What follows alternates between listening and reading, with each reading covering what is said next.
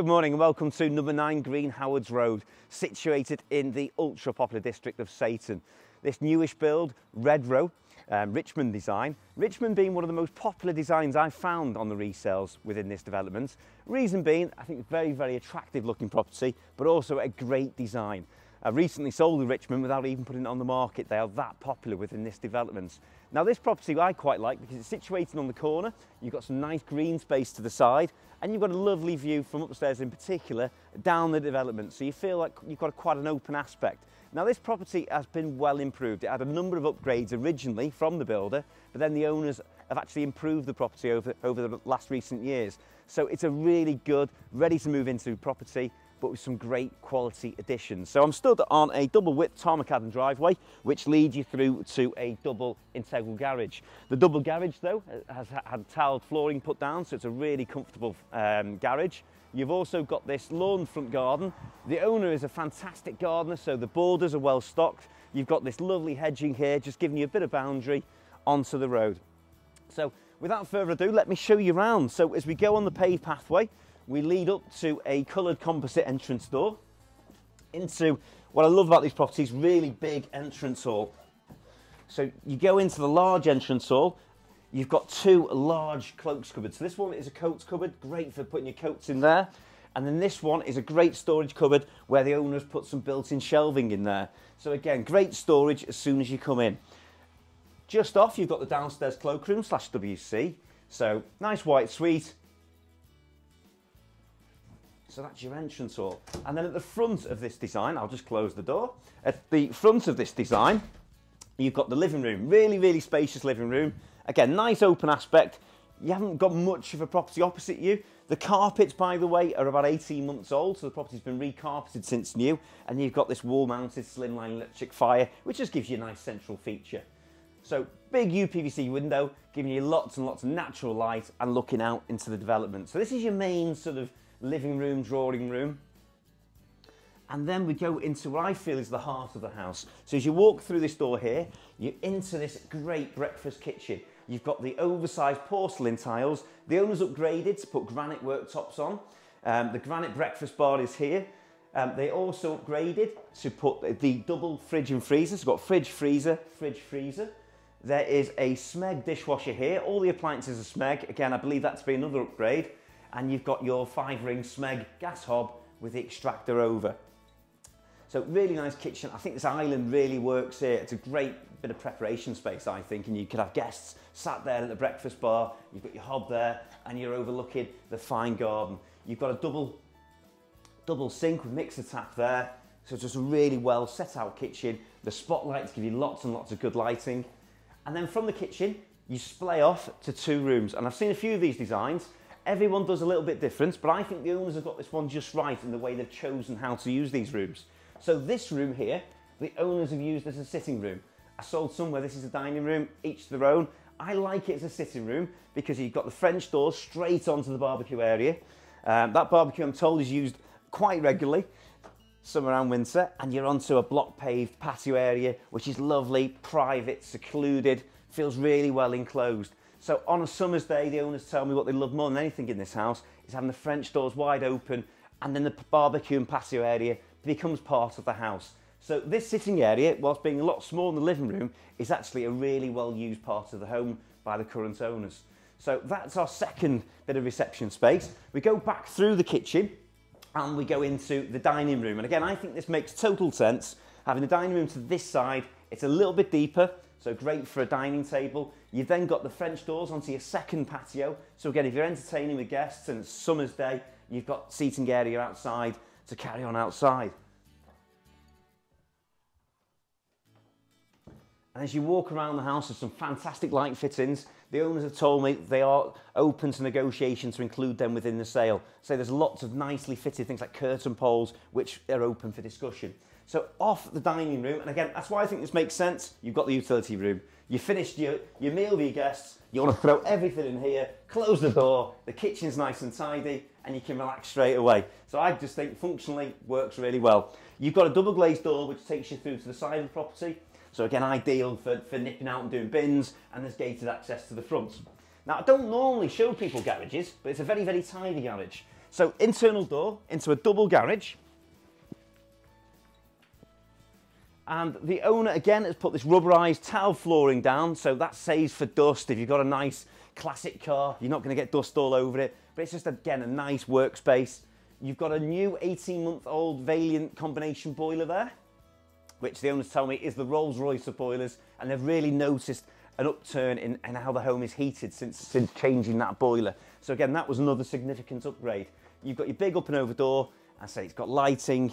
It's more than a garage really, more of a, a sort of indoor workshop. So that's the garage. Okay, so that's from the garage. One thing I probably didn't show you, in the utility room, there's a useful understairs storage cupboard. So as we go up to the first floor, again, the carpet continues, 18 month old, high quality carpet. I love that this nice timber effect balustrade takes you up to the first floor. And again, another principal feature of this property, which I really, really love, is the landing. It's got a lovely galleried feel, just a feeling of space. You're not crammed in at all in this home. And I think having a nice roomy landing really suits a house of this size. Now I'll take you through to the master bedroom suite first. So there's four bedrooms in total, they're all doubles. The master bedroom though is a great size. It's probably got the best outlook in my opinion. I do love an open outlook. So you're looking straight down the developments and as you can see how handy it is You've got the co-op in the far distance and not too close, but you can still walk in a couple of minutes to go get those last minute groceries from the co-op. And I think that's what makes Saighton so popular. You've got the bus station, bus stop at the end of the road, you've got a public house, you've now got the cooperative, and if you've got children, you've got the primary school all at the bottom of the road. So from this large double bedroom, we go into the ensuite where we've got this walk in, fully tiled shower cubicle, not cramped for room whatsoever, with the overhead shower head, white suite with a Satini, his and hers, wash hand basins, and obviously separate WC. So nicely ceramic tiled with brushed chrome shaver points, chrome heated towel rail, all the things you'd expect in a quality new build home. And then, fantastically, we go into the dressing room. It does its job. It's fantastic. Everything goes in there, so the bedroom is but a bedroom. So that's the master bedroom suite. And then I'll take you to bedroom two, which is a really good size. By the way, that's just an airing cupboard, so you've got your hot water cylinder in there. And then bedroom two, nice double-sized bedroom. But if you have a lot of guests, what I like about this style is you've got a second ensuite, which is, I think, fantastic if you invite people over. You've got your triple cream gloss fronted wardrobe, all built in. And then you've got a second ensuite, which again, got the same suite as the master, a little bit smaller, but you've got the high quality wash hand basin, still a double shower cubicle, all pristine as well. The property is in remarkable order. It's been really, really well maintained. So that's bedroom two. And then I'll take you now to bedroom three.